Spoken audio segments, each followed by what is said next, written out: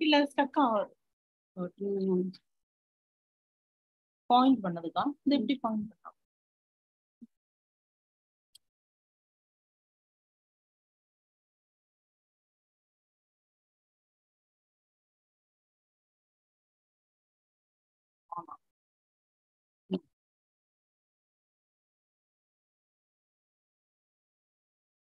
Today I will அந்த கதை அடைச்சிட்டு விட this uh, this will be um, investigations for dementia. We have finished the symptoms, then basis of uh, learning memory, uh, then uh, ag- apraxias. Now it's a b- brief assessment at the bedside. So the assessment consists of uh, uh, detailed clinical history, then assessing the educational status, sibling status, occupation, habits, handedness, pre-morbid 24 hours routine, and social support. This is mandatory scheme of assessment. Uh, so, as we all know, cognitive reserve, that is why we should know the educational status. Uh, cognitive reserve, even in the presence of dementia, uh, when the educational status is better, it may look like normal. Due to individual characteristics like increased synaptic or neuronal capacity, greater efficiency in engaging brain capacity, or use alternative strategies. For example, our HMSE or mini mental status or the various neuropsychiatric tests are too primitive. That is categorizing less than 12 school years and more than 12 school years. That's all. For a highly educated person, these are very primitive. So they will have the capacity to do much better. Because of that, these tests will show them to be normal. So in their activities of daily living, they may not uh, suffer. Whereas in their professional life, they will be a problem. But cognitive reserve itself is very important for uh, patients to be looked after by caregivers. So that is cognitive reserve. That is why we have to know the sibling status because we say that siblings have similar IQ. And uh, so that will help us to compare if the person is uh, subjectively and objectively complaining, there is a cognitive decline.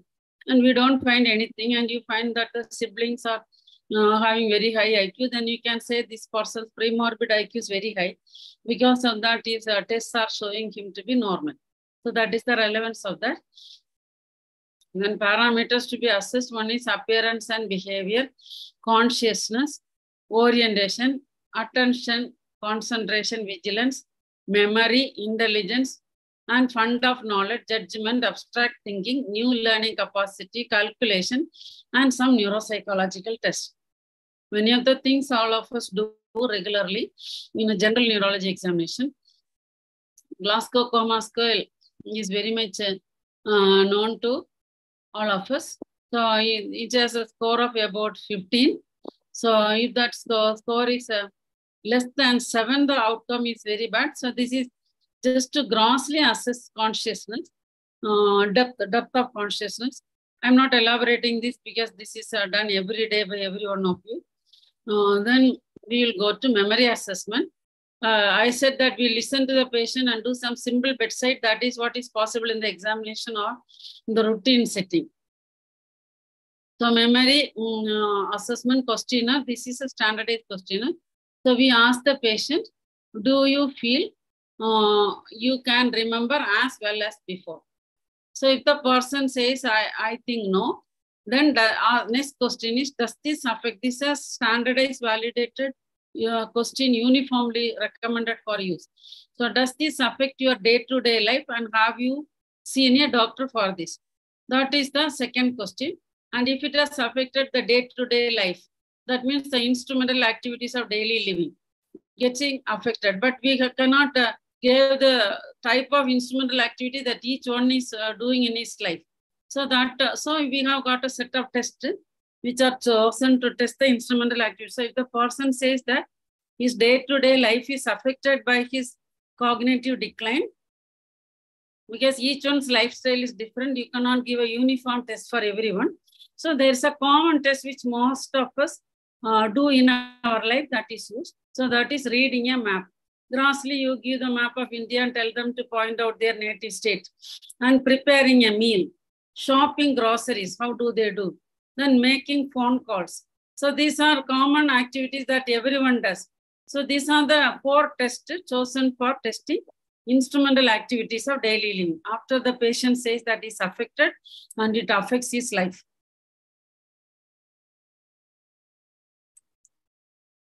Then uh, we will take a general health measures. So now we know that patient has got a cognitive complaint which is subjective and there is some objective involvement of uh, his uh, functional capacity and instrumental activities of daily living.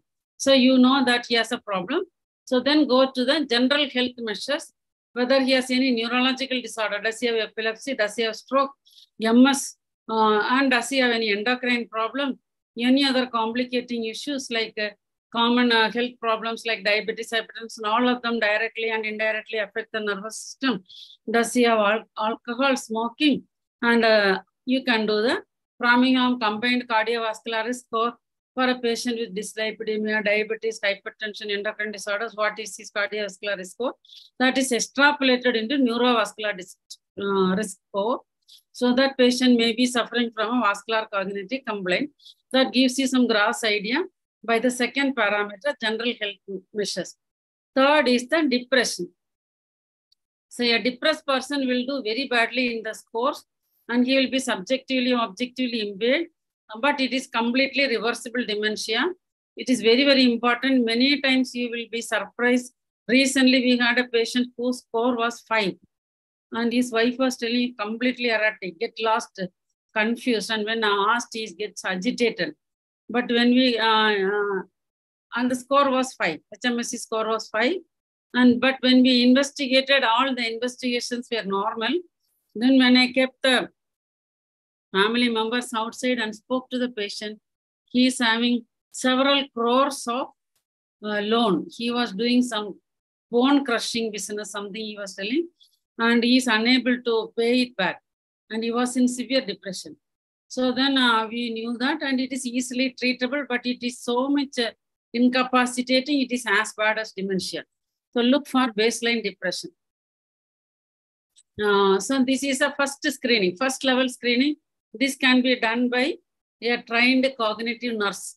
Then you go to the uh, tests of cognition. So if somebody is in a cognitive clinic, the, prima, the three things that we said can be, you have got a geriatric depression scale for India. So that scale very easy to apply and, uh, and, uh, dementia clinic uh, nurse can do it. After that, you come to the cognitive assessment where mini mental status examination, which is a 30 point score, or Hindi mental status examination. Uh, mini mental status examination is a paid score. So we use the HMS. Then clinical dementia rating scale, structured interview with the patient, and telephonic interview with the informant of the patient. Uh, if the person is not available. I will elaborate all this. Then uh, you use test for immediate and delayed memory, visuospatial uh, construction, language capacity, attention, and global deterioration scale. Then uh, next is the activities of daily living, for which you depend on the carers. How is he taking care of? We have seen the initial screening, instrumental activity, four point screening is done by the nurse. And then you are asking for the carer report. Then you do the other uh, blessed dementia rating scale, behavior AD scale, easy everyday activity score for India, and Bristol's de uh, depression score. So these are the things which are commonly applied in any memory clinic. And what is the difference between mini mental status and Hindi mental status? Hindi mental status is more simplified, 31 point. Mini mental status little more complex. And the second mini mental status is paid one. This is a free one. So we have to, these questions on the year, name of the place, building, floor, street, address, city, country. And then uh, you have to repeat three names for registration, which are changed into simple ones. Then recall, serial subtraction, that is modified into a simple test using rupees. Then uh, backward spelling of the world, that is uh, converted into simplified backward mentioning of the days of the week. Then you can recall the name common objects, then uh, repeat no ifs or buts, then uh, obey simple commands, write a sentence, and draw intersecting pentagons there. Here it is a uh, rectangle with a diamond inside. So these are the difference here. Mm, so this score, if it is less than 25, for 24 for more than 12 school years, and less than 19 for less than 12 school years is considered cognitive decline. Then this is the clinical dementia rating scale uh, where uh, the several domains are tested. This also can be downloaded. I will not elaborate because each test will take one class. But I'm just introducing these are the things easily you can download, apply to five patients, then you know what it is. So you test the domain of memory, orientation, judgment and problem solving, then uh, community affairs, home hobbies, and personal care. care. And in this score, if it is 0.5, it is normal and uh, varying severities, I uh, will grade it into grade 1, 2, 3. This can be taken from the uh, net, downloaded and apply five times, then you will know how to apply this. Hmm? Then key points to remember in neuropsychological test. Neuropsychological tests are altered by several factors from time to time. Last, like I, I told a patient whose score was five. When I personally spoke to him and he opened up his problem, his score became full. That was only 24 hours difference. So neuropsychological tests are altered by in, in indifference of the patient to cooperate your answers. Then the score will be very bad. That does not mean disease. So we should know that if he has taken some tranquilizer, if he has uh, sleep deprived, all this will change the scores. Then one test may be abnormal in several situations because if one test naming defect is there, naming defect can be part of a uh, cognitive decline, it can be part of a uh, dementing disease, it can be part of a language disorder, focal problems. So, so many things can affect uh, one parameter is abnormal, just put that parameter is abnormal. What is the substrate underlying that parameter abnormality? We will have to finally only conclude. And several tests can be affected due to one problem. For example, if a patient has got an aphasia, then all the tests are going to be affected. That does not mean that the whole brain is affected. When the patient's language is affected, he will not comprehend, he will not reply properly. So it will look like that all domains are affected, whereas only one domain is affected, that is the language domain. And interpret giving relevance to the context. The patient who is uh, suddenly sitting with a person who has probably irritated him, it's uh, said some angry word or something like that. There are new person introduced for the first time to a new setup. That will affect the in the uh, Uh, performance, so you may have to repeat it. So all these are shortcomings of neuropsychological tests. Therefore, history is the most important thing as I had insisted in the previous test, but these are things to be done. We have got regions, we have got domains. As you know, in the older times, we used to think frontal lobe, parietal lobe, temporal lobe, occipital lobe, corpus callosum, cerebellum, like that. Now we are thinking that most of the functions are distributed in networks.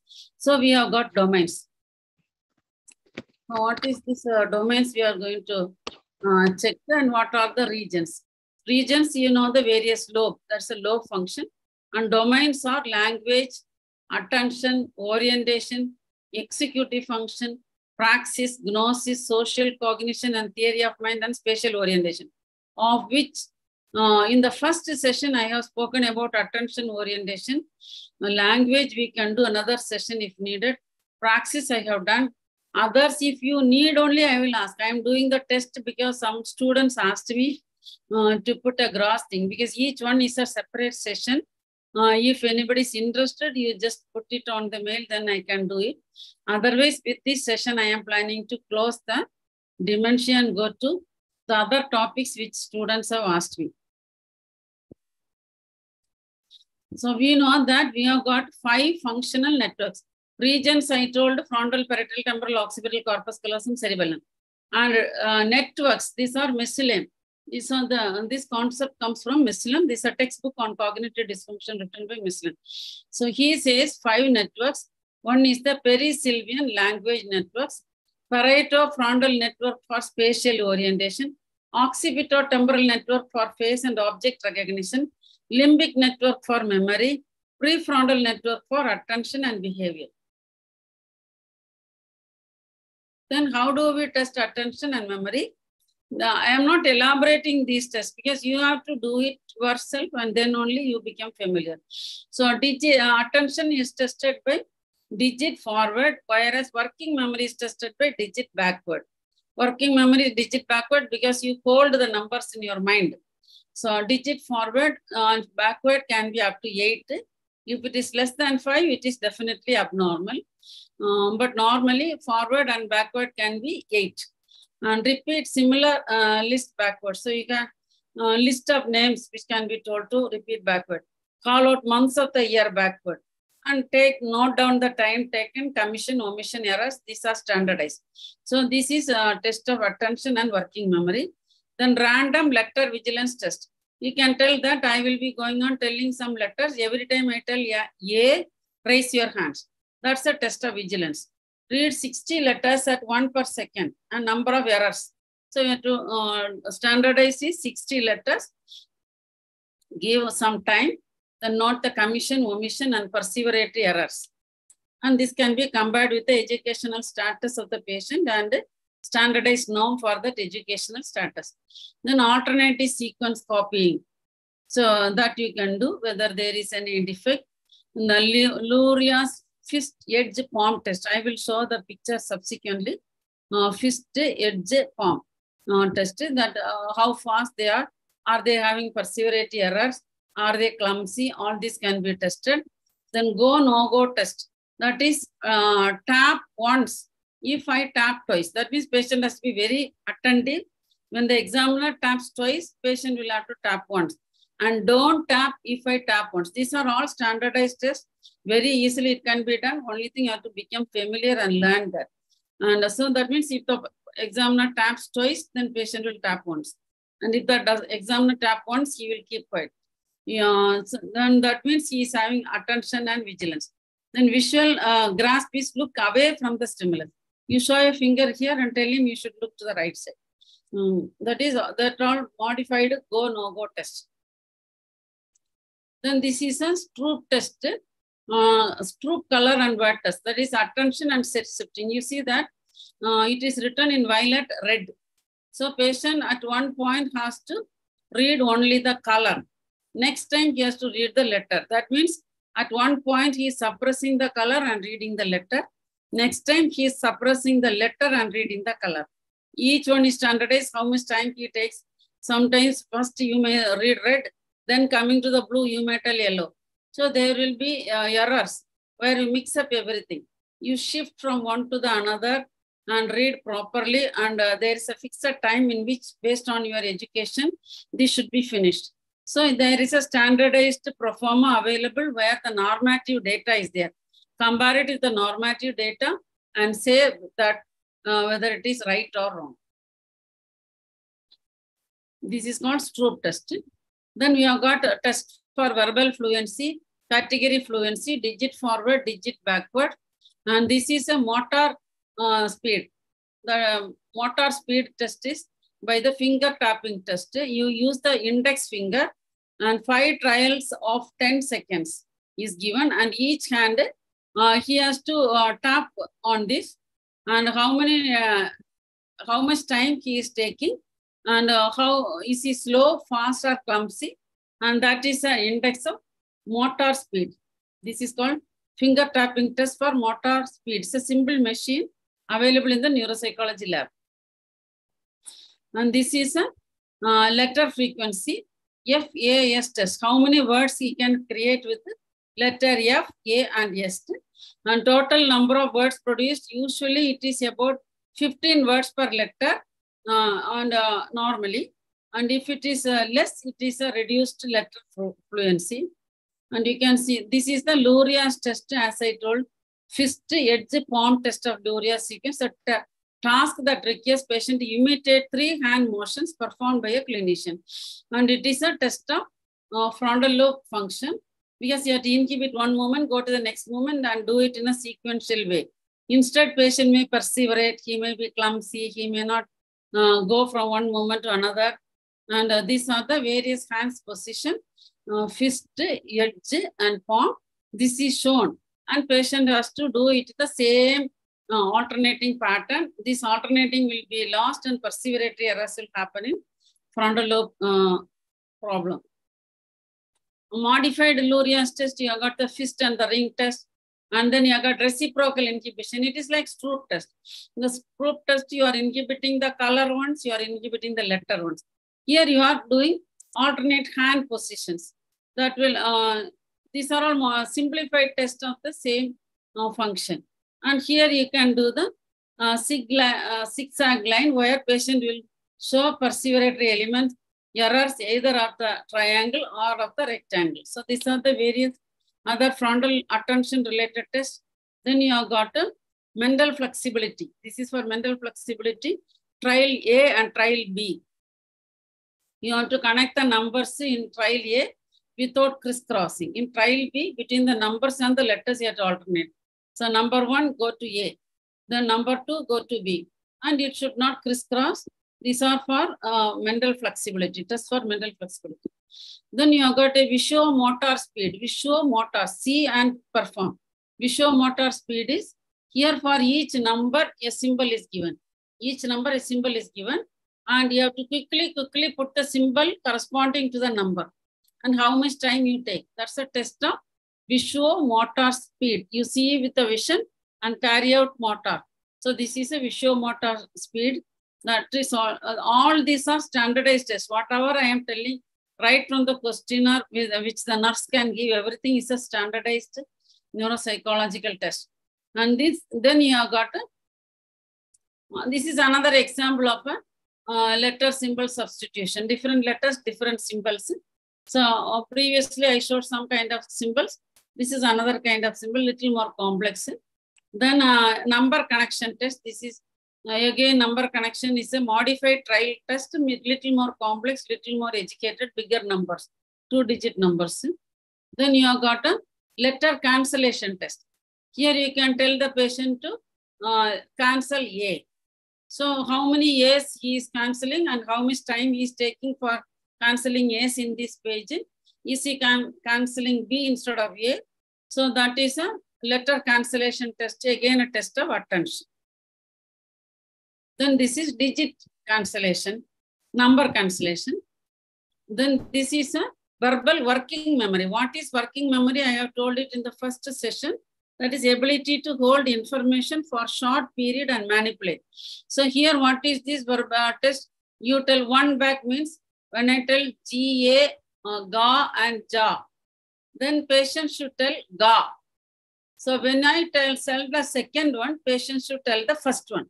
That means he is holding the first one in his mind and suppressing the second one and going back to the first one. That is why working memory is holding something in your mind, manipulating for a short period for functional efficiency. So that is the basis of this test. One back is you will hold jaw tell ga. Two back is when NA, GA, NA is given, patient will hold the latest two and go back to the first one. So he will have to go two steps backwards, little more complex. So working memory of very short duration will, one back will be all right, two back will be difficult. These are standardized. There's a time and education based errors of omission and commission standardized norm is there. So this is one back, two back test is the test of verbal working memory.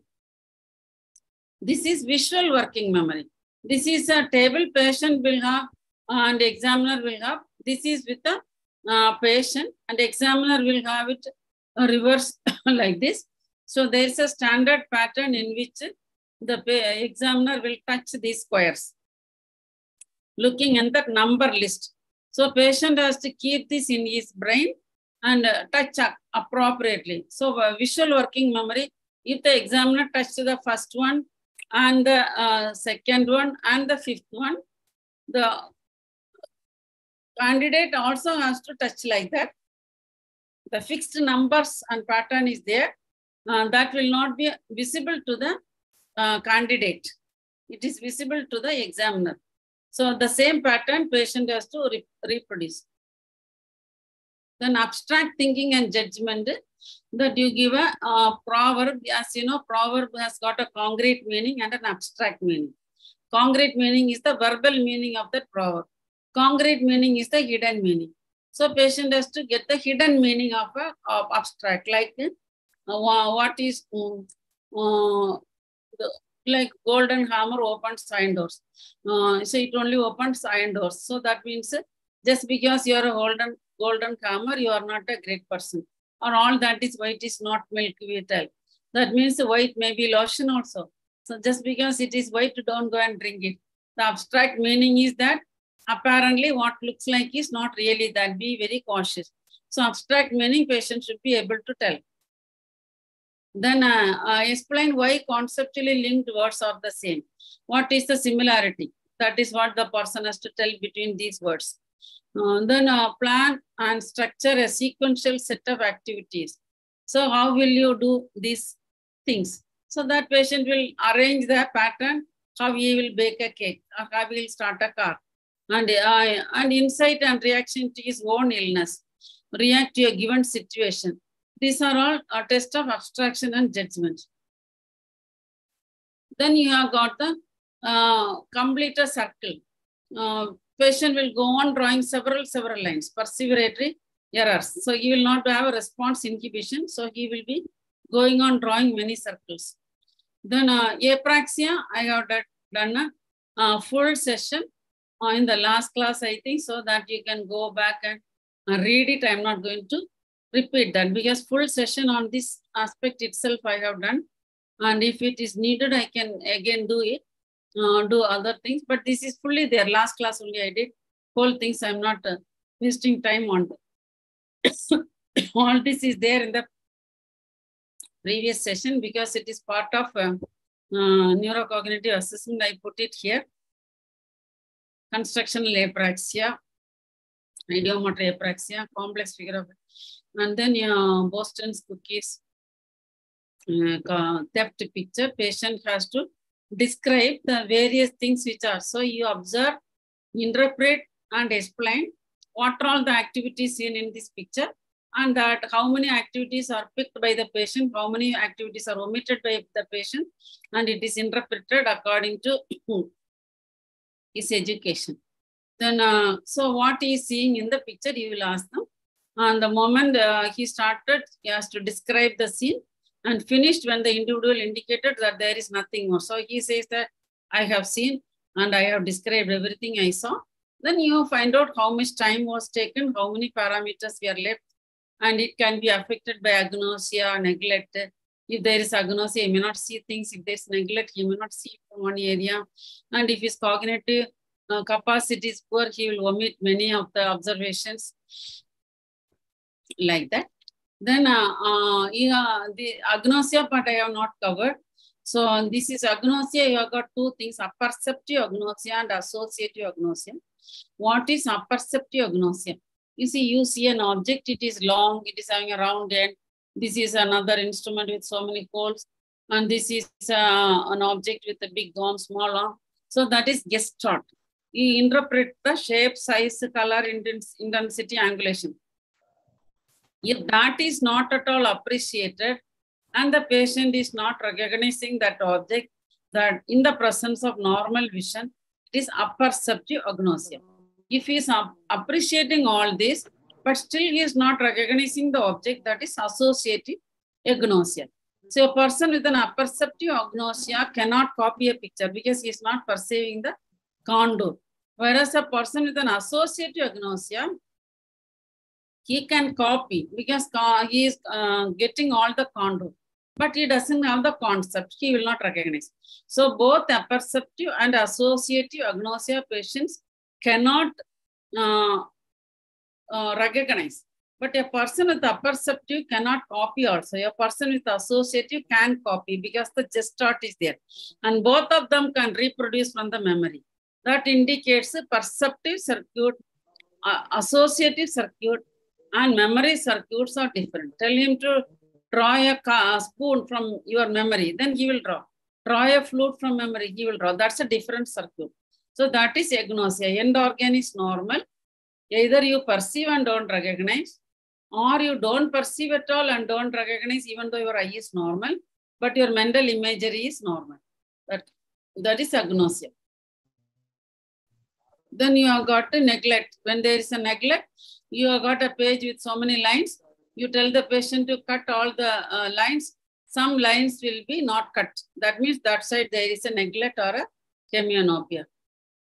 So this is again uh, a sheet where you tell the patient to cancel letters. That is a line cancellation. This is letter cancellation. This is a test for judgment. This is a um, Tower of London. Tower of London has got six balls of different colors and there are fixed positions which the patient should put. He should not uh, put any ball on the table. He should only shift between the three poles and how much time he takes to receive the three fixed positions which are standardized and the colors in that order. So these, uh, so that he has to do and you find out how many omission commission errors are coming. He should not put any ball on the table. He should only exchange between the poles and reach the uh, test positions which are given in the standard battery. And this is Wisconsin card sorting test.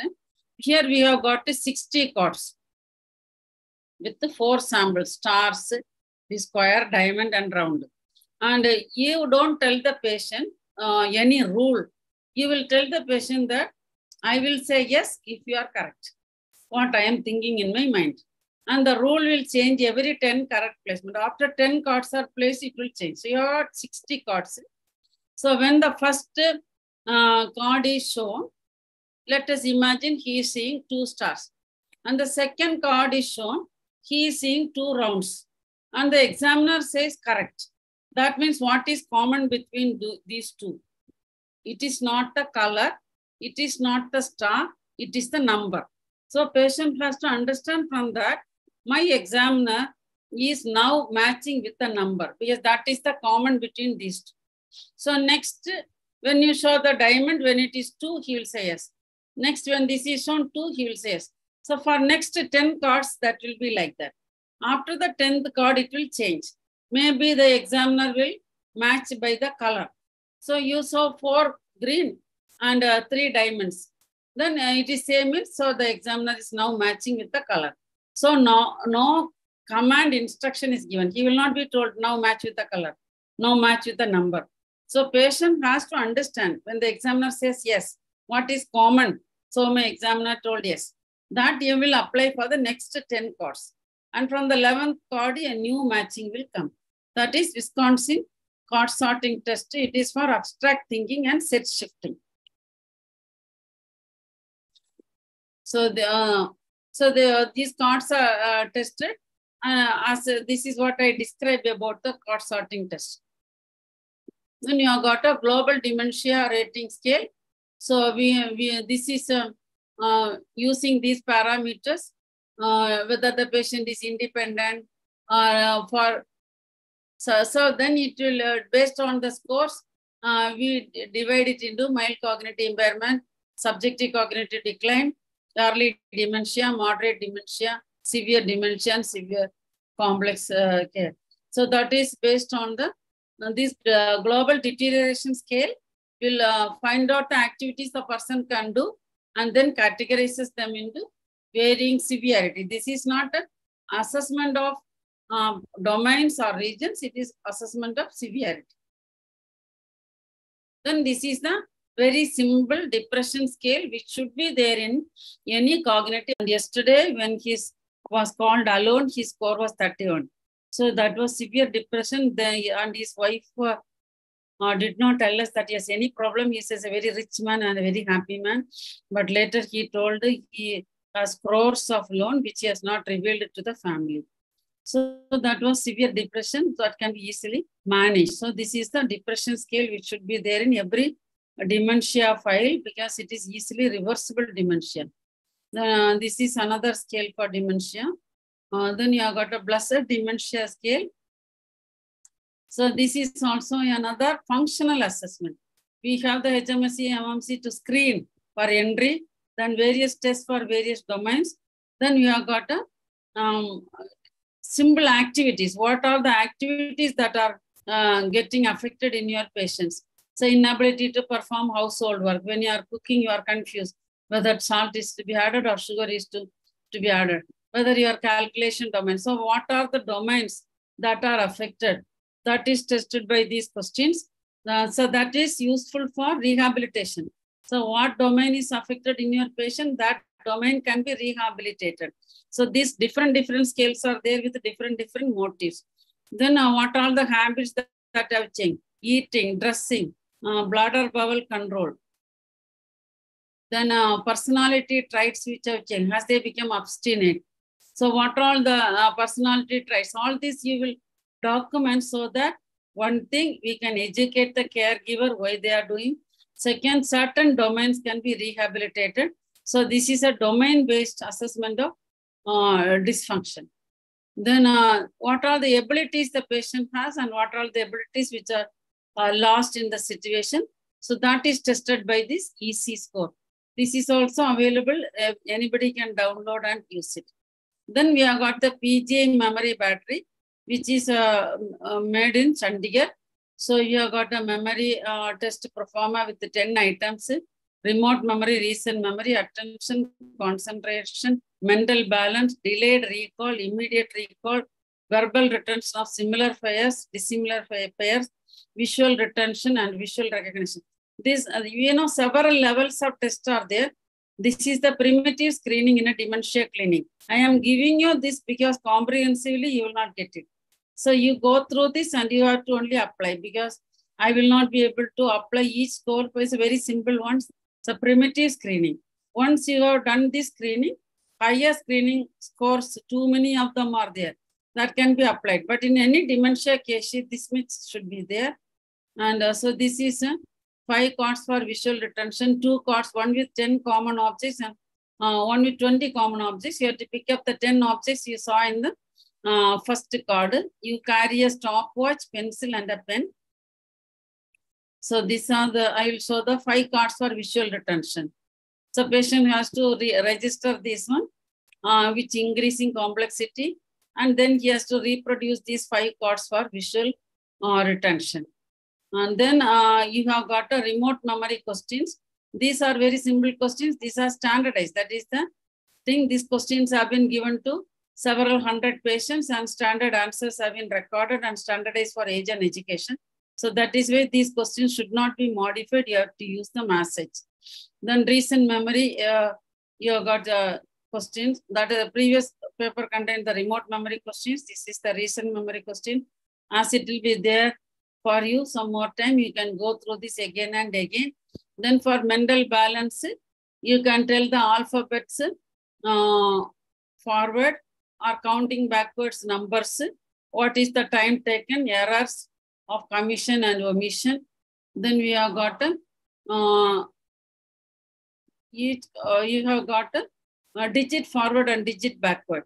So that is for attention concentration. PGI batteries also using the digit forward and backward only, like your standard code. Then you have got 10 common objects. These are the, I will show you this.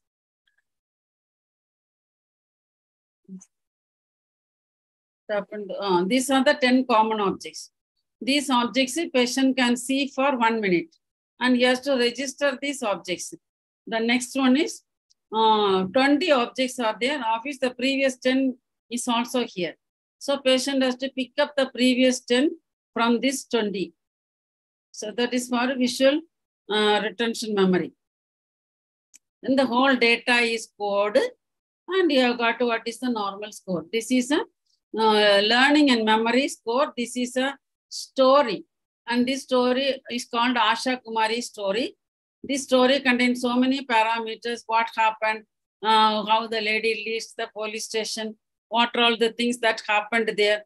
So that is told elaborately and all the points the patient has to recall. How many is recalled in the step of that. This is called Asha Kumari story. It's a standardized story for learning and memory. And all the parameters which are omitted or committed, uh, which are not there in the score should be documented. This is for learning and memory. Then we have got the caregiver burden scale. This is called Zarit scale.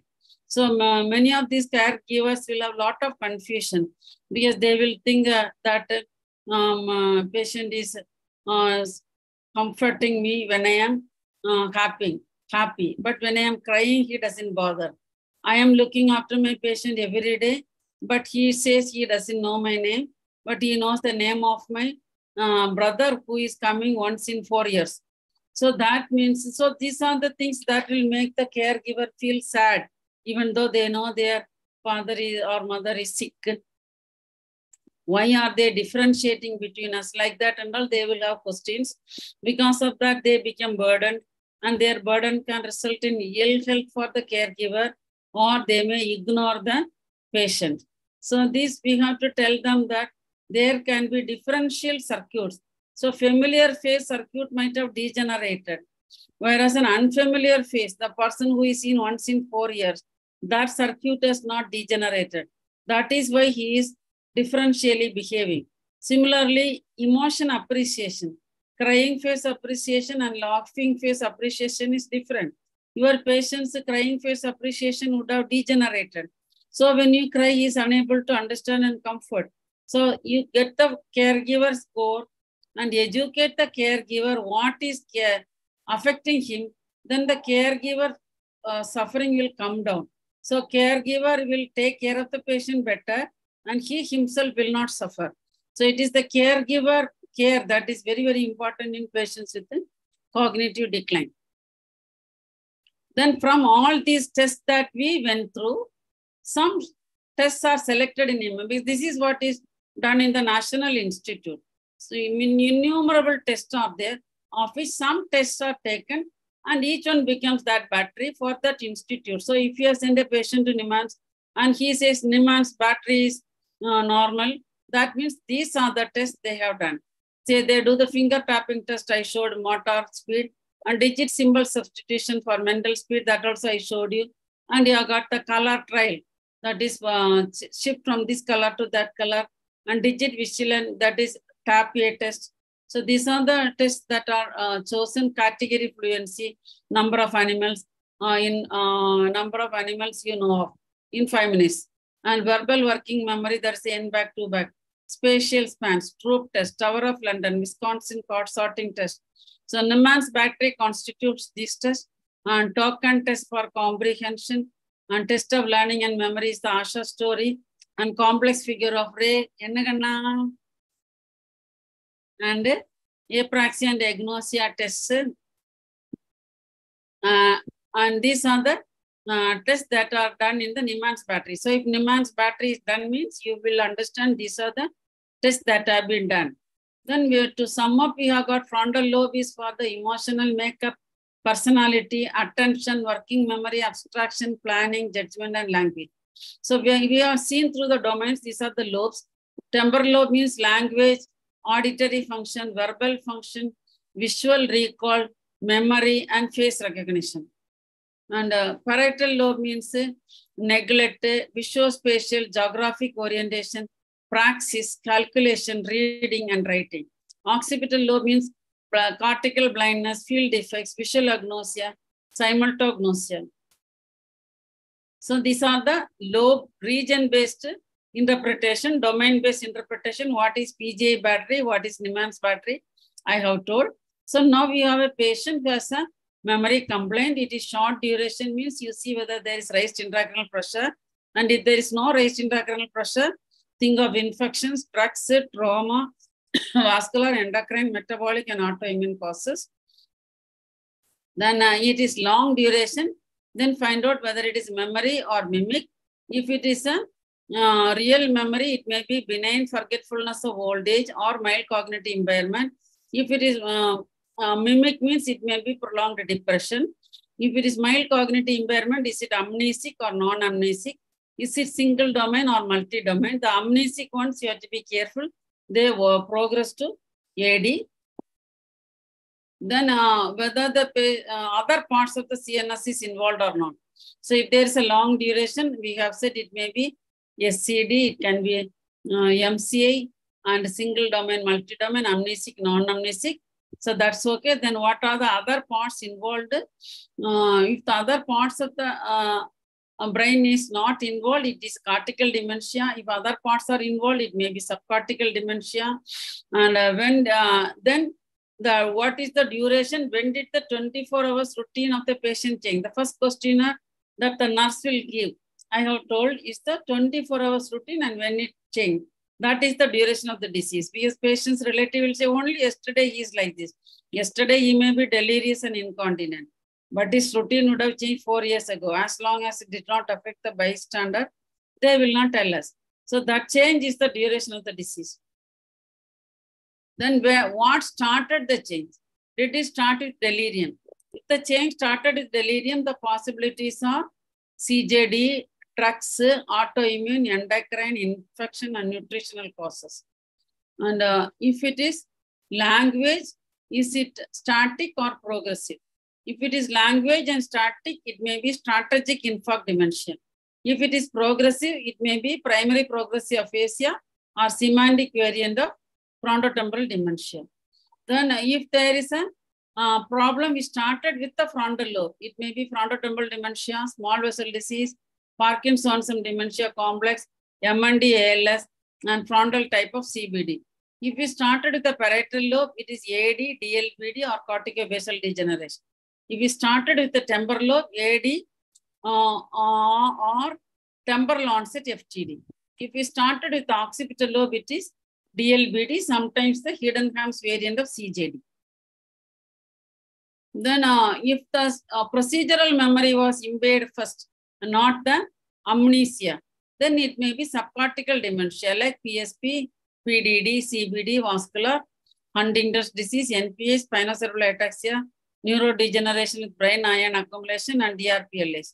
An uncharacterized overlap, that is mixed dementia. Degenerative dementia can coexist with vascular dementia. It can coexist with the infections. Then it is unclassified and uncharacterized overlap dementia. Then uh, uh, you have to differentiate pseudo dementia from true dementia. Pseudo dementia is uh, depression. As I said, very important to differentiate. Patient will keep on insisting, I have memory problem. There will be a definite date. This person, as I told the example, he started the day when he started failing in his business. And he will simply give, I don't know answer. That is why the first day score was five. Reason and remote memory is come totally lost. The answer phenomenon is near normal answers. What is 4 plus 4? He purposely wants to tell wrong answers. So he will say 7 or 9. And he will look depressed. Dopamine is the neurotransmitter. EEG will show expectancy wave. P300 and PET will be normal. Whereas true dementia, others will tell. He will deny. And the onset is very vague and ill-defined. Wrong answers are more common than I don't know answers. Recent memory is impaired and remote is preserved. Ganser phenomena is not there. Depression may or may not be there, depending on the insight into the illness. Neurotransmitter involved is acetylcholine. And EEG uh, will be generally showing changes of the type of dementia. P300 and PET will be abnormal.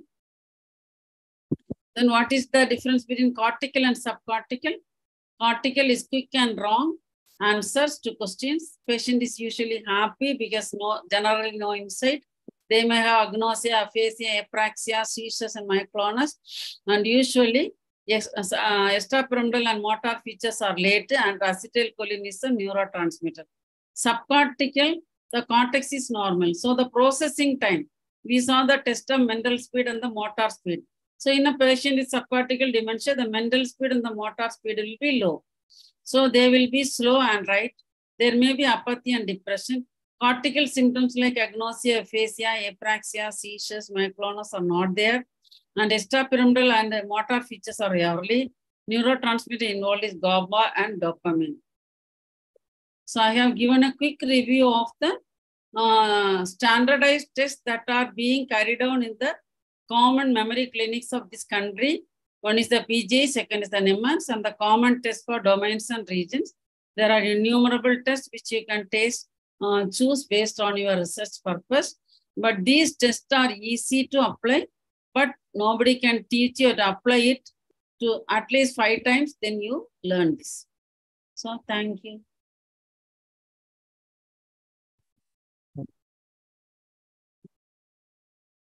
Thank you, madam. Uh, one question uh, has been asked me, what is Inion sign? What is? Inion sign. I-N-I-O-N. I am not aware of a sign. Is it a sign in dementia? Why did Not- you? Where, I have not heard of a test like that. If anyone is aware, he can contribute, or the person who asked might have read it somewhere. Then please explain. I am not aware because many people would have described many, many signs. And uh, what we commonly used only, uh, uh, I have told, and I am not aware of a sign like that. Uh, you can, uh, I can refer if possible until I, I am not aware. Is there any such test? Person who asked if you know, please tell it, tell it to us.